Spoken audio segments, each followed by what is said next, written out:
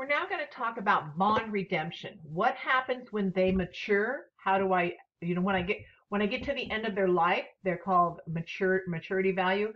Um, so bottom line is this: we can actually redeem them before they actually mature, but we have to be careful. We will do this sometimes if market rate uh, decline drops below contract rate.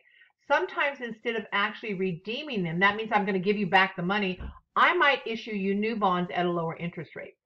A callable bond, and again, I don't do terminology, so don't worry about this. A callable bond can be redeemed by by any company at any time. So if the bond is considered a callable, I can sell it to you today and next month call it back and buy it back from you. So it doesn't make a difference about that. Here's what's the most important part of this. What is the carrying value on my book at the time I redeem the bond? The carrying value, just to reiterate, is the bonds payable account minus anything in the discount on bonds payable or the bond payable plus anything in the premium on bonds payable. But here's what I have to know. So you, remember, the carrying value is what is it worth on my books. If I call it back, so this is important right here, guys, real important. I'm either going to have a gain or loss based upon what happens. I have a gain if I if I pay more for it. I'm sorry, let me say this again. I'll have a gain if I pay less for it than what my carrying amount is. So if it's on my books at $1,000 and I only have to pay you $980 for it, I'm going to actually have a $20 gain.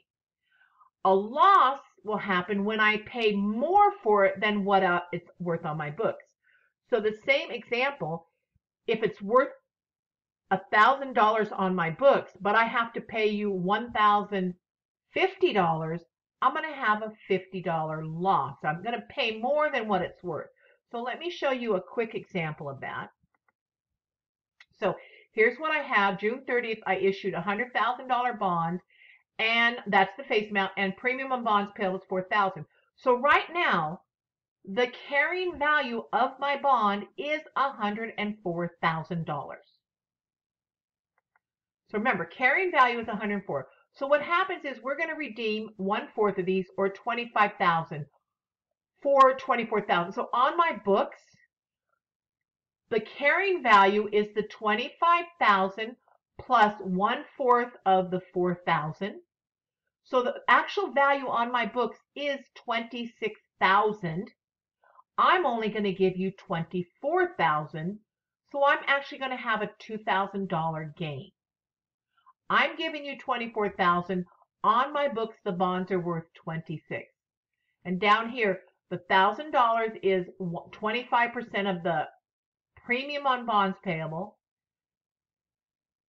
Okay, so this is a gain because I gave you less money than what it was worth on my books. Now, if I give you more money, so assume that I the other 75,000 outstanding bonds, I actually uh, give you more money.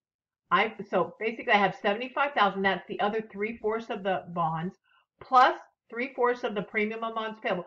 So right now the carrying value would be these two added together. It would be $78,000 but I'm going to give you 79,500. So I'm giving you more than what it's worth on my books. I'm taking a loss on it. So it's very important to know when you redeem the bonds, what is it worth on the books and what are you paying? When you pay more than what it's worth, it's a loss for the difference.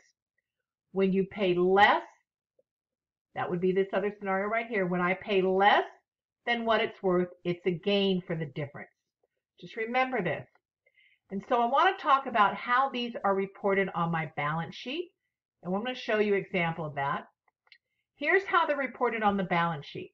So the bonds payable less any this is this is the discount pre, uh, this is the discount on bonds payable.